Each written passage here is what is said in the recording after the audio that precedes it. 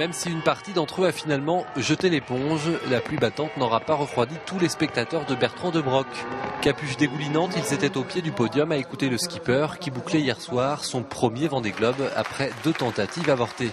Parmi eux des souscripteurs de votre nom autour du monde, des souscripteurs qui, loin de mettre la pression à De Broc, l'ont au contraire transporté.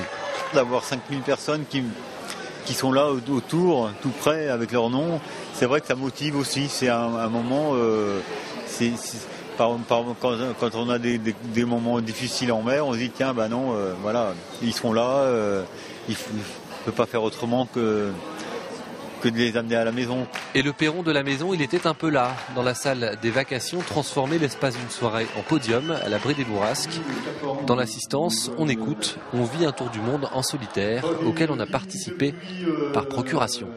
Grâce à nous, bah, il a réalisé son rêve, il a réalisé notre rêve.